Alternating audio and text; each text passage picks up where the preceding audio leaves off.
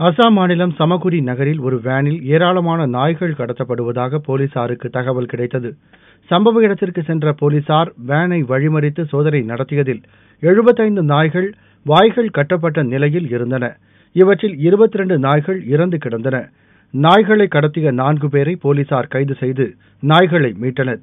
நாகாலாந்து மிசோரம் மாநிலங்களில் உயிருள்ள நாய் ஒன்று ஐநூறு ரூபாய்க்கும் இறைச்சியாக கிலோ ஒன்றுக்கு முன்னூறு ரூபாய் வரை விற்கப்படுவதால் நாய்கள் கடத்தப்படுவதாக போலீசார் தெரிவித்தனர்.